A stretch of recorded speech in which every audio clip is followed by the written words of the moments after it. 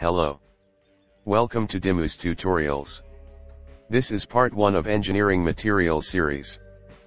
In part 1 we will learn, elastic and plastic deformation, stress strain curve, yield strength, ultimate strength, fracture, and Young's modulus. Consider a specimen with length L. It is under tensile force at two extreme ends. The specimen will start expanding when both the forces will become active. The specimen will regain its original length when the force removed. Up to specific limit of tensile force, the specimen is able to regain its original length.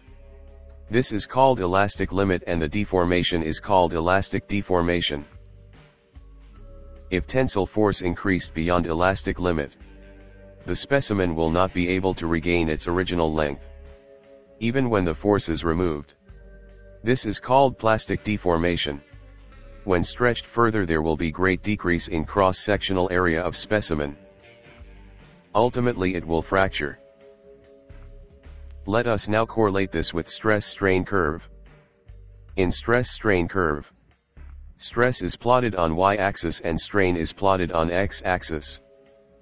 With the application of tensile force the stress is going to increase.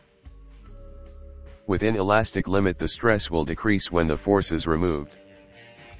The highest point of elastic limit is called yield strength. Beyond that, during plastic deformation, the stress will continue to rise but with the sudden rise in strain. At the end of plastic deformation and before start of fracture, it will reach at saturation point. This is called ultimate tensile strength.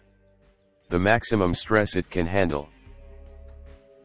During fracture, the stress tends to decrease till the specimen breaks in two pieces.